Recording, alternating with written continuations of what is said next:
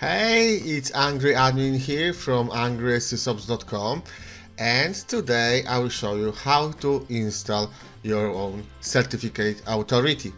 Uh, why do we need this? Um, we need that because I want to show you in the future video uh, how to install ADFS and how to integrate that with the vCenter for authentication.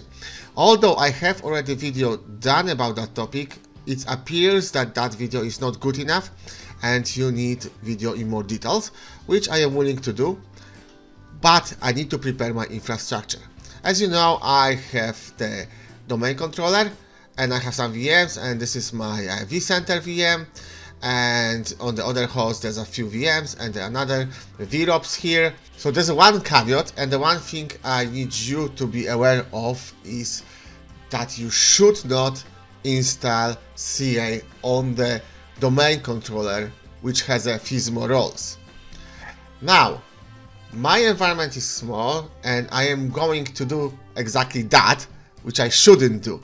And I probably know that some security people will start chatting why it's not a good idea.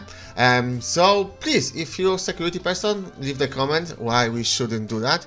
Um, but other to that, remember, don't install if you can on the DC with FSMO. Uh, you can spin up another domain controller. Again, my small environment allows me to do it on my domain controller, which has the FSMO roles. Okay, uh, without any further ado, let's do it. Okay guys, so to install our CA, we need to log in to our uh, domain controller and open the dashboard. Okay, and then we're going to the top corner and go manage. We need to add roles and features and click next. And this is the role based. So click next. Yes, I want to use my domain controller. Click next. And now, as you can see, Active Directory Certificate Services. That's what we want to do.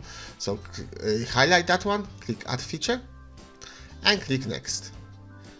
We don't change anything on this screen. Click Next, click Next. And now, as you can see, there's a few more options to choose from.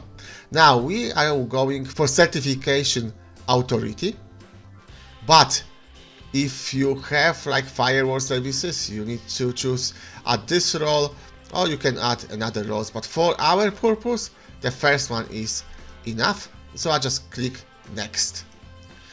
Now we can restart, but this doesn't require restart. So I will not check um, that box. And let's click install. Now it will take a few moments, so I will speed up the video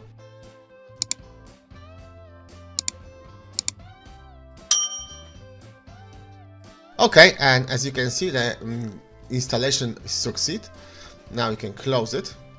And now we need to configure our certificate authority. So we click here on the exclamation mark and as you can see there's a link to configuration. Let's click on it. And now we have this wizard. Okay, so this wizard is basically click next wizard. Uh, there's not much uh, things we need to configure, but uh, firstly, um, the credentials, I'm staying with my username, so I click next. The only option here we can choose is certification authority because we didn't install the other roles. So let's click it and let's check it and click next. Now we want to go for enterprise CA. So the difference between Enterprise CA and standalone CA is that Enterprise is tied to Active Directory and it's much easier to work with than standalone. As you know from my previous video, uh, we are using Active Directory and my vCenter is connected to Active Directory, so we're going for Enterprise CA.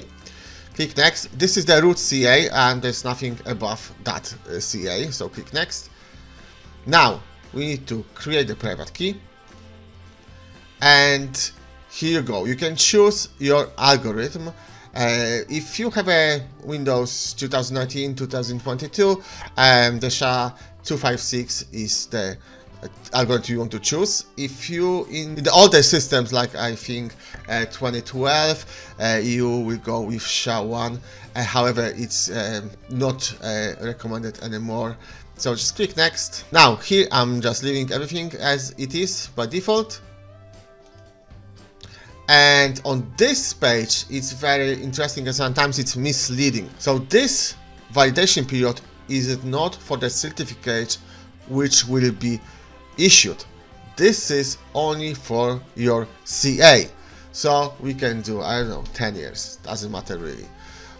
Click next. This is the log, um, log location, I'm leaving as default. And summarization, click configure. And there. We have configured our CA. Alright, so let's close it. And now let's open our certificate authority. Okay, and we can see our CA server and we can see all the sets. So let's see the issue sets and there is none. Okay, so to issue certificate for that server, we need just to reboot it. So let's do that now. Restart and continue. Restart anyway. And it will take a few moments.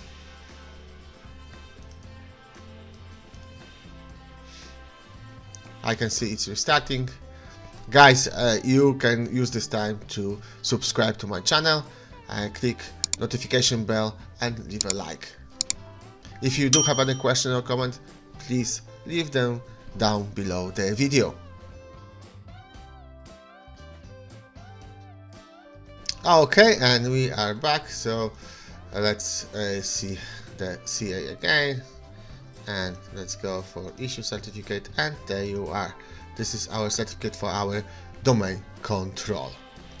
Okay guys, that is everything for this short video. I hope this was informative for you. And next video, watch that space because on the next video I show you how to get the certificate for your vCenter. Alright, so click a like, subscribe to my channel, click notification bell and leave a comment. Also follow me on Twitter at AngrySysOps. I am answering all the questions through the Twitter. Alright, bye.